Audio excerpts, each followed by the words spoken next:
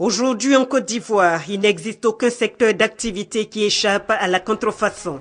Les secteurs du textile, des médicaments, de l'agroalimentaire, bref, le phénomène constitue une réelle menace pour l'industrie, mais surtout pour la santé des populations. Comme remède à ce fléau, le gouvernement a décidé de renforcer le cadre juridique et réglementaire.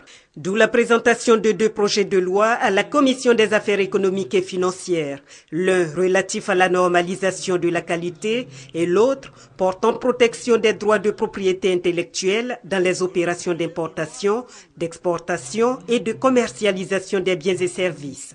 Tout en saluant l'initiative, les députés ont fait remarquer au commissaire du gouvernement que le problème, ce n'est pas tant l'absence de loi, mais son application sur le terrain. Le texte qui vient d'être pris va justement permettre, sur le terrain de manière concrète, de manière efficace, de répondre à cette préoccupation. Parce que ce texte maintenant donne les moyens et donne les possibilités à l'administration des douanes, par exemple. Lorsqu'il est identifié que, par exemple, des produits entrent sur au cordon douanier et que ces produits-là sont des produits de contrefaçon, l'administration des douanes aura les moyens juridiques pour pouvoir bloquer le dédouanement et s'assurer que donc la procédure est suivie judiciaire, bien cela s'entend.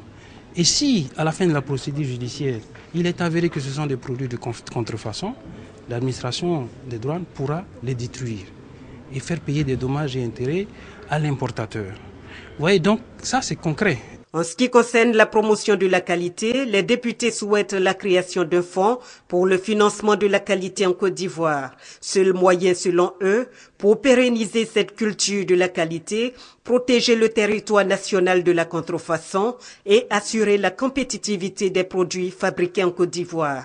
Au bout de cinq heures de débat, les députés de la Commission des affaires économiques et financières ont fini par adopter les deux projets de loi relatifs à la normalisation de la qualité et à la lutte contre la contrefaçon par la protection de la propriété intellectuelle.